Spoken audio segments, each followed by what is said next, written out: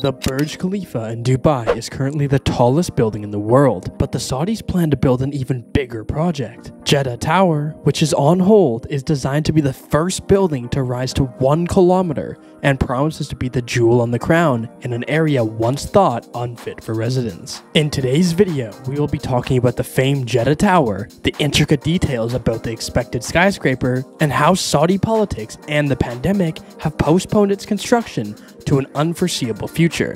Even the major financier was caught up in a corruption scandal that put the building efforts on hold for three years. So let's dive into why Saudi Arabia's one kilometer high Jeddah Tower might never get finished. In 2008, Prince Al Walid bin Talal of Saudi Arabia gave the world mouth-watering news. He was intent on building the world's tallest skyscraper, nothing less than one kilometer high. In a rapidly growing community like the Jeddah Economic City, this towering structure will quickly become the center of attention. While the lower floors will get busy with commercial activities, the higher decks are poised for residents. Right in the middle of both extremes, business and hospitality will mix with a luxury hotel. All Prince Al Walid foresaw was a building that brings everything to its occupants. To get a mental picture of Jeddah Tower, it is planned to be three times the height of the Eiffel Tower. Yet daylight has not seen this wild dream come to fruition. Only one third of the tower has been built, and there are no plans to kickstart construction since it came to a grinding halt. To date, the website of its developers, Jeddah Economic Company, still has a jaw-dropping aerial view of the building with the words, It's Happening, embellished on it but reality says otherwise. However, in one big way, Jeddah Tower shares a connection with the Burj Khalifa. World-renowned American architect Adrian Smith drew out the plans for both. So the two structures have similar design features. Jeddah Tower joins the Dubai Hotel as it almost doubles the 600 meter mark that qualifies tall buildings. Design-wise, it has three walls that give it a Y-shaped plan. With extensive research on how skyscrapers react to wind, the chief architect Adrian has concluded that the tri-wall design is more aerodynamic and has a better resistance to wind shear at high altitudes than four walls would.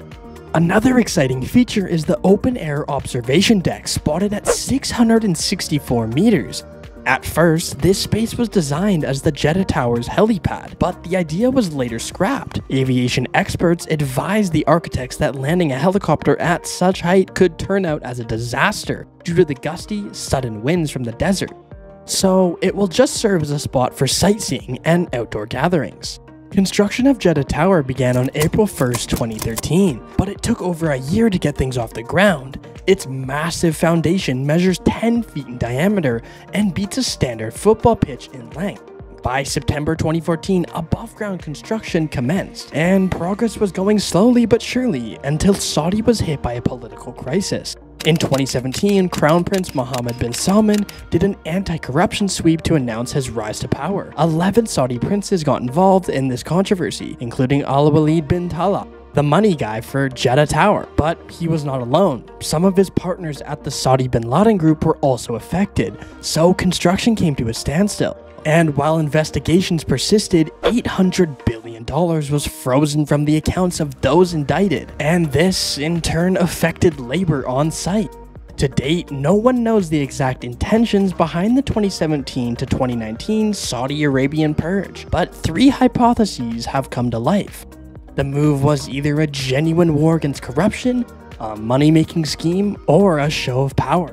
However, sometime later in 2018, it seemed the building would resume as Jeddah Economic Company's CEO Mounib Hammoud told CNN that the world's tallest building would be ready by 2020. He stated, as of 2020, we'll start seeing things. You'll see the tower, you'll see the shopping mall, you'll see many other projects but nothing prepared him for the COVID pandemic. Today, Jeddah Tower stands about 300 meters off the ground, the same height as in 2017, which is one third of the proposed plan. While roadwork and mapping plans were rolled out by the developers last year, nothing was said of the mega centerpiece. And while some believe the project will resume soon, others think that Jeddah Tower delay is beyond typical. There seems to be more to the halt than the Jeddah Economic Group is letting slip. Not a single rumor about the resumption has come true. Maybe it will end up as a stump in the ground. The only hope there is now is how Saudi Arabians don't give up, and it might be too embarrassing to fail after much promise. Jeddah Tower was set to become a self-sustaining entity and has received applause from various quarters as an elegant, cost-efficient, and highly constructible design, expected to gulp around 1.23 billion